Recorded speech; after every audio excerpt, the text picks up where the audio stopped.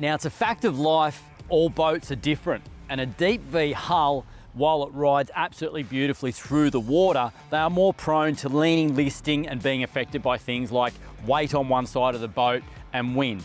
This is alleviated by trim tabs. Now there's lots of different trim tabs around, but the guys at Bar Crusher have actually engineered their own model, which they've got right here. And the reason for it is they wanted something strong, but the other reason is you don't want to be putting a stainless trim tab onto an aluminium hull. It will react, cause electrolysis, and then you have problems. The other great feature, they've got an electric actuator here rather than hydraulic, so it means no pumps leaking, no pumps failing. It's a simple wire running to this, and that gets your trim tab working.